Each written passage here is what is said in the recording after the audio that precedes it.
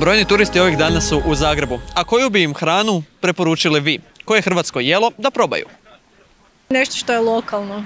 A što je lokalno? Pa recimo, ne znam, blizina Zagorja, recimo Zagrebu, papurica s mlincima, štrukli ili nešto tako. Tvoj osobni favorit možda od ovih jela? Štrukli definitivno.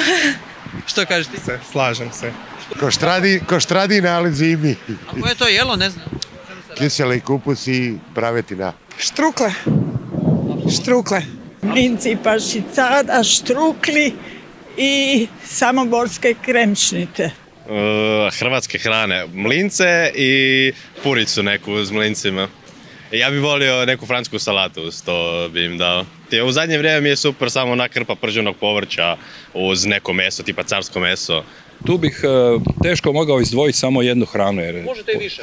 raznovrsna je tu hrvatska ponuda od dalmatinskih jela, ne znam, ribljih, šampjer ili kovač, to je možda jedna od najboljih riba, ili orada, komarča, a onda ovih svakako i zagorskih ima jako dobrih jela, slavonskih da ne govorimo također.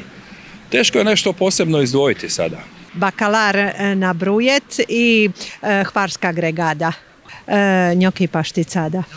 Obavezno. Mislim da najbolju hranu imamo u Europi i naravno vrsne kuharice, pogotovo ove starije gospođe, e, dakle u godinama naše bake i none, od njih treba naslijediti te recepte i treba to dalje njegovati. Se dobro čuva ovo izvorno, kako... Mislim da se dobro čuva. To I- se vidi po svima nama jer smo svi dobro uhranjeni.